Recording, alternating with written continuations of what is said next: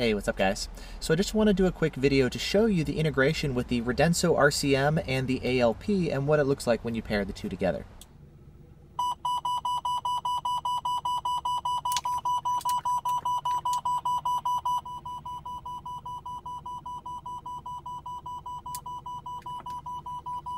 Uh, as you can see, the Radenso RCM is now going to be going off when the ALP detects laser, and there's also directional information to tell you if the signal's front or back, and the ALP LED also lights up red for front and yellow for rear. Uh, I noticed the sound with the Radenso RCM is different than the traditional ALP sound.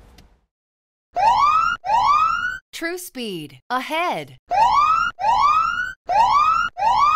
And the RCM also does not ID what laser that you're shot with. Uh, that is actually going to be coming with a firmware update in the future, but right now it just says laser and then an arrow front or rear.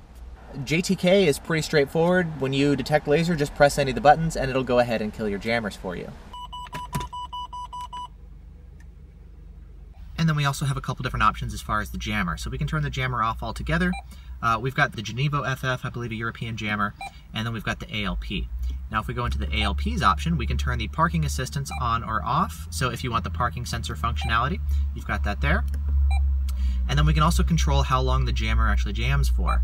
Uh, we can either turn off the jamming here completely, or we can do a couple different options, anywhere from one through nine seconds, or unlimited jamming for testing. And then to JTK, you just press any of the buttons here.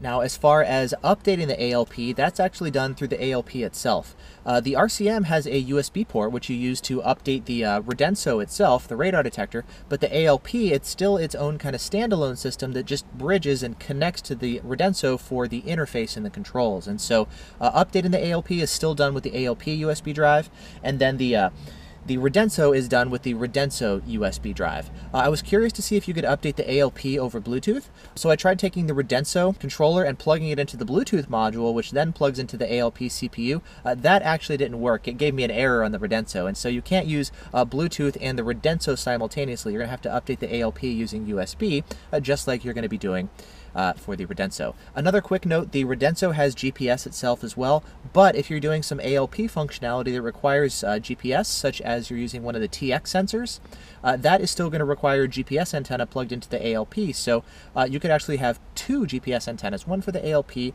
and one for the Radenso. Uh, those are not shared. Um, it's just, again, kind of the, uh, the controls and the display and the audio alerts and whatnot.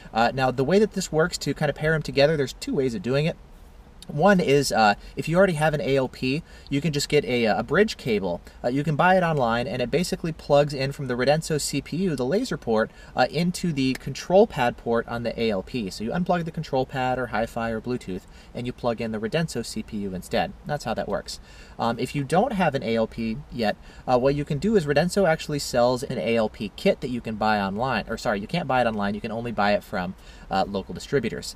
And the idea with that one is it's essentially an ALP triple, uh, so three heads without the control pad since you're not going to be using it, and instead it comes with the bridge cable, which is then going to be plugging into the Radenso RCM. And so a little bit cheaper than the ALP because you don't have to get the uh, the control pad, um, but you're still then having to buy the bridge cable, and so that plugs in that way. Um, one bonus is Radenso also does offer kind of a speeding ticket guarantee for laser if you get the uh, the ALP add-on kit, uh, whereas you don't have that if you buy an ALP the traditional route and then plug that into your RCM. So that's kind of a pros and cons kind of thing. Personally, I like having the choice. I like having the uh, the ALP separate just for the uh, the alerts. I like the way that it identifies the gun, and I like that the alerts really grab your attention a lot more with the ALP. And so, yes, they can integrate, but I don't think it's too big of a deal to have the ALP control pad there. And so, I personally still would prefer having them maybe separate and independent.